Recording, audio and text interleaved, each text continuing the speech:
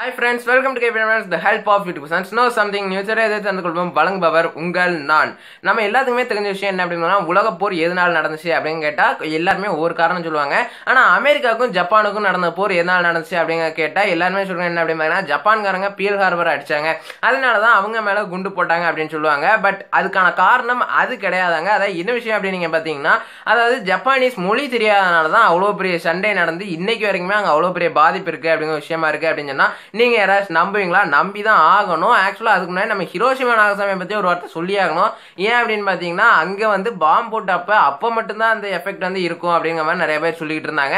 ஆனால் இன்னைக்கு வரைக்குமே அது ஜெனட்டிக் ரீதியாக தொடர்ந்து தான் இருக்குது அதாவது அன்னைக்கு இருந்த அவனோட தாத்தாலேருந்து இன்னைக்கு இருக்க அவனோட பேரன் வரைக்குமே எல்லாத்துக்குமே அங்கே வந்து அடி விழுந்துக்கிட்டு தான் இருக்குது என்ன விஷயம் அப்படின்னு பார்த்தீங்கன்னா அங்கே பிறக்கிற எல்லா குழந்தைங்களுமே ஏதோ விஷயத்தில் ஊனமாக தான் பிறக்கிறாங்க அப்படிங்கிற ஒரு விஷயமாவும் இருக்குது.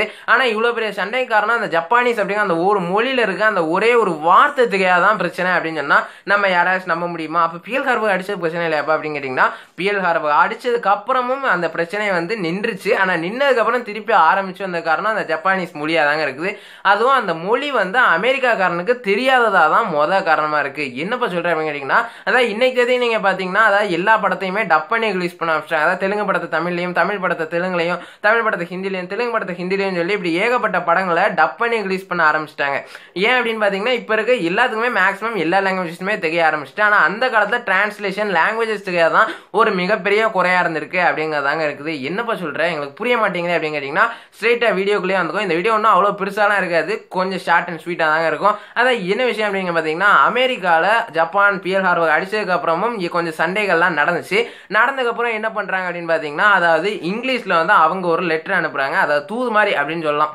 நீங்கள் வந்து எங்கள்கிட்ட சரண் அடைஞ்சிட்டிங்கன்னா நாங்கள் வந்து உங்களை விட்டுடுறோம் அப்படின்னு சொல்லி ஜப்பானுக்கு வந்து அமெரிக்காவில் வந்து அனுப்புகிறாங்க ஸோ அதுக்கு ஜப்பான்காரங்க என்ன ரிப்ளை பண்ணுறாங்க அப்படின்னு பார்த்தீங்கன்னா மோகசாஸ்ட் அப்படிங்கிற ஒரு வார்த்தையை ரிப்ளேவாக கொடுக்குறாங்க. அதுவும் இந்த ரிப்ளேவான வார்த்தைக்கான அர்த்தம் என்ன அப்படிங்கிறத நான் வரும்போது சொல்கிறேன் உடனே அங்கே இருக்கிற அமெரிக்கன்ஸ் என்ன சொல்கிறாங்க அப்படின்னு பார்த்தீங்கன்னா முகசாஸ்ட் அதான் அமெரிக்கன்ஸ் அப்படின்னு சொல்கிறத விட அங்கே டிரான்ஸ்லேஷன் அப்படின்னு சொல்லி ஒருத்தன் பண்ணான் தெரியுமா? அவனால தான் அவ்வளோ பெரிய பிரச்சனை. அவன் ஒழுங்காக அந்த ஜப்பானீஸ் பாஷையை படிச்சுருந்தான்னா அவ்வளோ பெரிய பிரச்சனையே நடந்திருக்காது. சரி வாங்க வீடியோக்குள்ளே எப்பவும் அதான் அந்த சில டிரான்ஸ்லேட்டுக்கு வந்து என்ன சொல்கிறாங்க அப்படின்னா முகசாஸ்ட் நாங்கள் மறைக்கிறோம். எங்களால் முடியாது. எங்களால் சரணட முடியாது.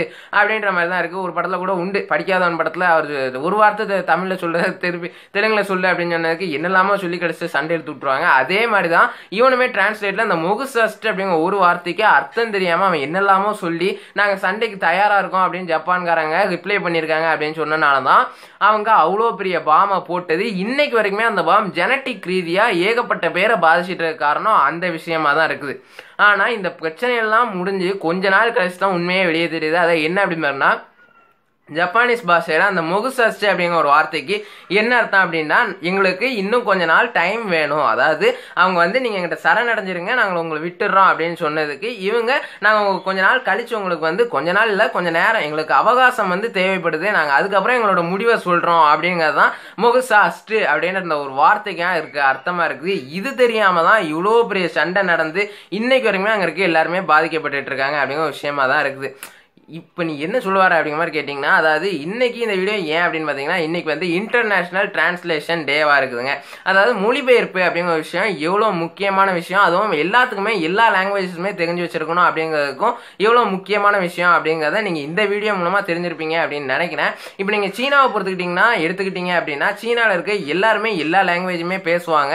அவங்களுக்கு எல்லா லாங்குவேஜும் பேச மாட்டாங்க. அங்கே இருக்க ஒரே லாங்குவேஜ் தான் சைனீஸ் தான். ஸோ அங்கே இருக்க எல்லாத்துக்குமே சைனீஸ் அப்படிங்கிற ஒரு பாஷை வந்து தெரியும். ஆனால் நம்ம இந்தியாவை பொறுத்த வரைக்கும் பார்த்தீங்கன்னா ஏகப்பட்ட லாங்குவேஜஸ் இருக்குது அதுதான் இருக்கிறதுலே ஒரு மிகப்பெரிய நல்ல விஷயம். இந்தியாவை பொறுத்த வரைக்கும் ஏகப்பட்ட பேர் இருக்கிறாங்க அப்படின்றது. பட் நம்மளுமே எல்லா லாங்குவேஜுமே தெரிஞ்சுக்கிட்டா ஒன்றும் தப்பில்லை அப்படிங்கிறதான் நான் சொல்கிறேன் இந்த வீடியோ உங்களுக்கு பிடிச்சிருந்தா லைக் பண்ணுங்க உங்க ஃப்ரெண்ட்ஸுக்கு ஷேர் பண்ணுங்க. இந்த வீடியோ பற்றி உங்களோட கருத்தை மறக்காம கமெண்ட் ரிவ்யூ பண்ணுங்க. நம்ம சேனல் நீங்க யாராவது புதுசாக இருந்தீங்க அப்படின்னா மறக்காம சப்ஸ்கிரைப் பண்ணிக்கோங்க.